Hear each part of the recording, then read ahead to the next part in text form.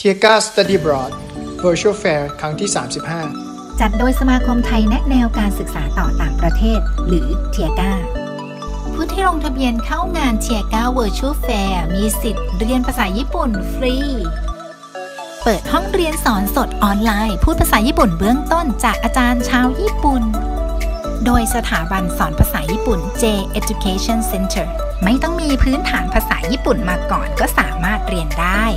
สิ่งที่จะได้ในคลาสนี้ เรียนรู้การทักทายการแนะนำตัว บทสนทนาพูดคุยเบื้องต้นอย่างง่าย บอกเล่าความชอบของตนเองเป็นภาษาญี่ปุ่นได้ เรียนกับเซนเซชาวญี่ปุ่นเข้าใจง่ายนำไปใช้ได้จริง ได้สำเนียงที่ถูกต้อง รับแบบฝึกหัดคัดตัวอักษรญี่ปุ่นทางอีเมลฟรี หลังจบกิจกรรมเพื่อนำไปใช้ในการฝึกต่อเนื่อง เหมาะสำหรับนักเรียน นิสิตนักศึกษาบุคคลทั่วไป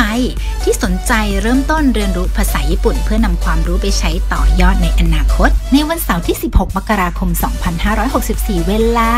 14 นาฬิกาถึง 15 นาฬิกา 30 นาทีผ่านทางออนไลน์ Zoom Application รับจำนวนจำกัด ลงทะเบียนที่ลิงก์ในโพสต์ได้เลย